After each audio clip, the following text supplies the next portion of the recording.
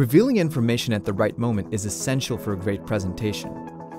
With Prezi Next, you can do this easily by editing the topic covers so that they reveal your content whenever you want them to, at just the right time. To start, your topic or subtopic covers will automatically show the largest text within as the title.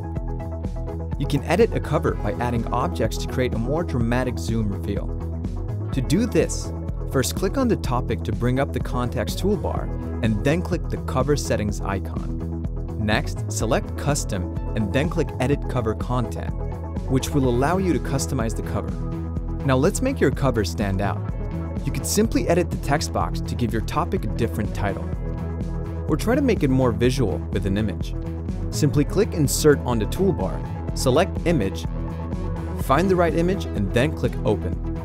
Then you can move, resize, and even rotate your image to fit the cover.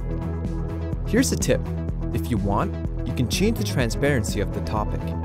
First select the topic and then click the color icon. Slide the opacity bar all the way down. Now your topic cover is simply the image. And that's it. That covers how to edit topic covers in Prezi Next.